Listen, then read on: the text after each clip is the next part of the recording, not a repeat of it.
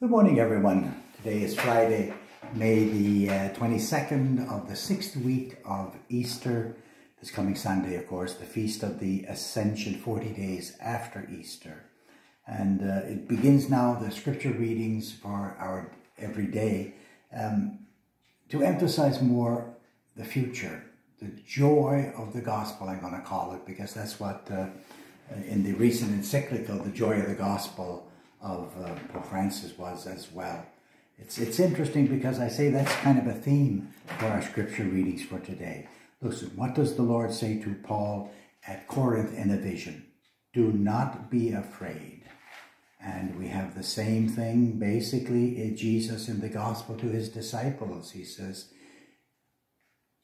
I tell you, you will weep and mourn, but the world will rejoice.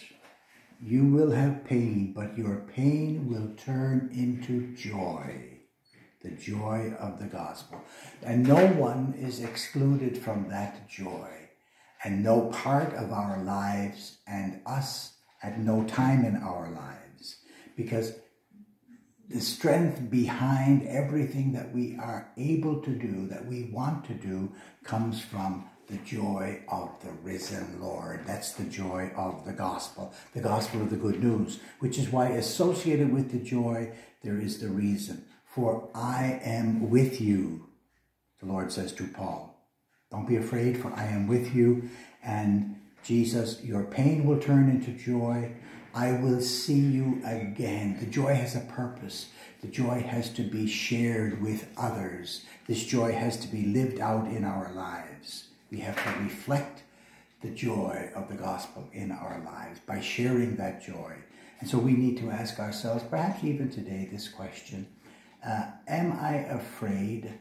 Or maybe better, am I a little bit indifferent to my neighbor and hold back from sharing the joy that is mine because of I am a disciple of Jesus Christ? Let's try to reflect on that. Uh, question today and to see if maybe that will bring us to a little more of the truth of who we are as friends of Jesus. Thanks and have a good day.